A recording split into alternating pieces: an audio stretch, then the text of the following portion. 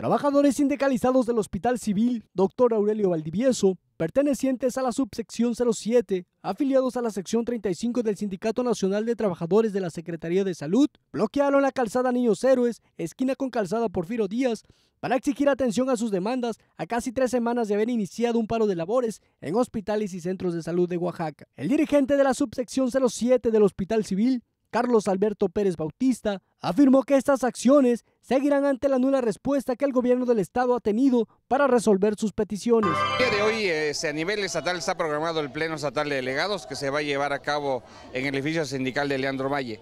Eh, sin embargo, nosotros como trabajadores del Hospital Aurelio Valdivieso nuevamente salimos a manifestarnos, igual que lo hicimos el día de ayer y la semana este, pasada, este, en protesta por la indolencia y la falta de sensibilidad del gobierno del Estado al planteamiento que se ha hecho y la resolución a la problemática que estamos viviendo.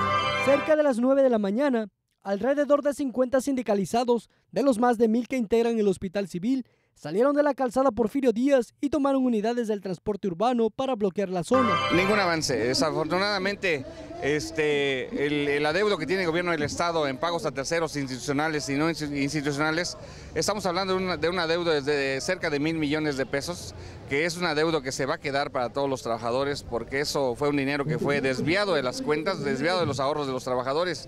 Estamos hablando de que los pagos a pensioniste, fobiste y el sistema de ahorro para el retiro no se hicieron. Ese dinero fue desviado y fue utilizado para otra situación.